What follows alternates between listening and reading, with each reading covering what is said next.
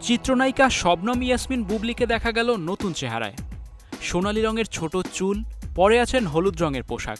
কেন এই লুক অন্যদিকে আরও একটি সিনেমা রিলিজ পাচ্ছে দেশের বাইরে। বাংলা সিনেমা ইন্ডাস্ট্রির চেহারাই বদলে যাচ্ছে। সর্বশেষ থাকছে রাখি সাওয়ান্ত নিয়ে চাঞ্চল্যকর তথ্য। তার নগ্ন ভিডিও নাকি পঞ্চাশ লাখ টাকায় বিক্রি হয়েছে। দেবাশিস বিশ্বাস পরিচালিত তুমি যেখানে, আমি সেখানে ছবিতে এভাবেই দেখা যাবে দেশি এই নায়িকাকে। কমেডি ধাঁচের এই ছবিতে বুবলির সঙ্গে অভিনয় করছেন রোশান। বর্তমানে ছবিটি শুটিং চলছে। আরও কয়েকটি লুকে ছবিতে বুবলিকে দেখা যাবে। তিনি বলেন, অনেক প্রস্তুতি নিয়ে বিভিন্ন লুকে অভিনয় করছি। লুকগুলো দর্শকদের ভালো লাগবে। দর্শকরা নানা রকম গল্পের সিনেমা দেখতে পছন্দ করেন। এটি অন্যতম সেরা একটি কমেডি সিনেমা হতে যাচ্ছে। বুবলি বলেন, এটি শতভাগ কমেডি সিনেমা। সত্যি কথা বলতে, এমন সিনেমায় কাজ করা অনেক কঠিন। মানুষকে হাসানো সবচেয়ে কঠিন কাজ।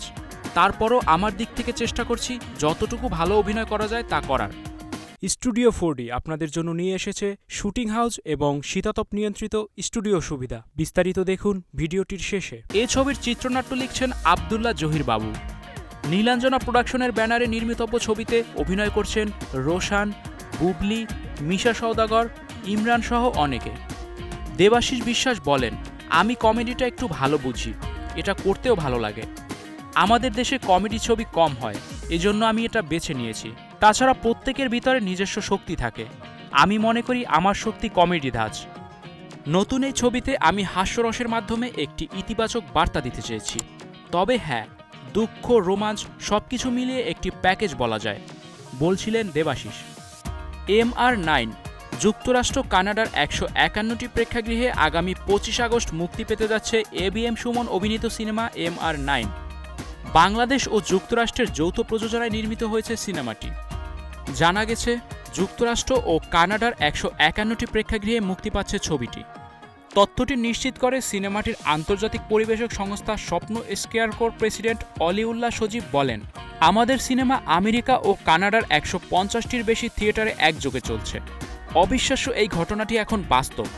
প্রয়াত কথাসাহিত্যিক কাজী আনোয়ার হোসেনের ধ্বংস পাহাড় উপন্যাস অবলম্বনে নির্মিত cinema M R nine, do or die.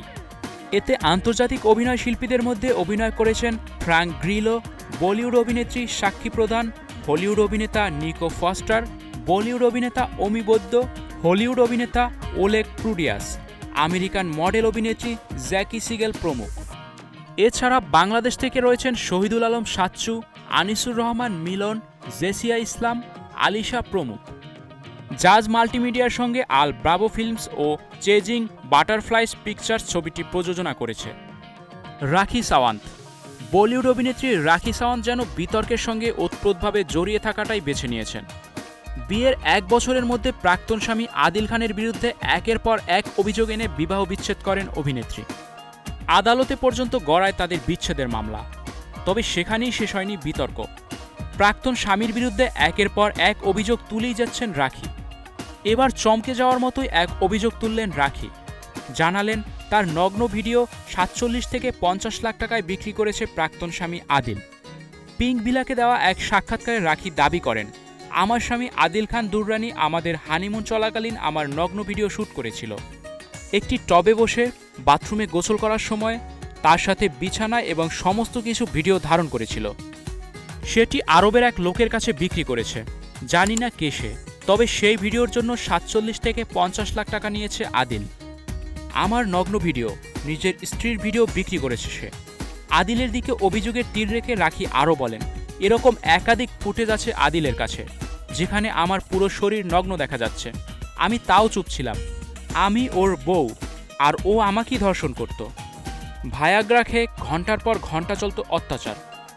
ভয়াবহ যৌন সম্পর্ক স্থাপন করত সে। এদিকে জেল থেকে বেরিয়ে আদিলের অভিযোগ, তাকে ফাঁসানো হয়েছে। শুধু তাই নয়, রাখিকে দেখে নেওয়ার হুমকিও দিয়েছেন আদিল জেলের বাইরে এসে। সোমবার সংবাদ সম্মেলন করে রাখির বিরুদ্ধে একাধিক অভিযোগ এনেছেন আদিল। তিনি বলেন, আমি কোনো অন্যায় করিনি, আমায় ফাঁসানো হয়েছে। রাখি তার মায়ের মাথায় হাত রেখে বলেছিল যে সে রিতেশকে বিয়ে করেনি। আমিও তাই বিশ্বাস করেছিলাম। এদিকে নভেম্বরে রাখি আমেরিকা গিয়েছিল। আমি দুবাইয়ে ছিলাম। ও ফিরে আসার পর আমি ভয়েস নোট দেখতে পাই, যেখানে রাখি রিতেশকে বলে, ও আমায় বিয়ে করে ভুল করেছে। এরপর রিতেশের থেকেও টাকা নিত শারীরিক সম্পর্কের জন্য। অভিযোগে আদিল আরও বলেন, তার আর রাখির কোনো বিয়েই হয়নি। রাখি মুসলিমও হয়নি। সবটাই ভাওতাবাজি রাখির। এমনকি রাখি নাকি নিজের জরায়ু পর্যন্ত বাদ দিয়েছেন। কোনোদিন মা হতে পারবে না সে।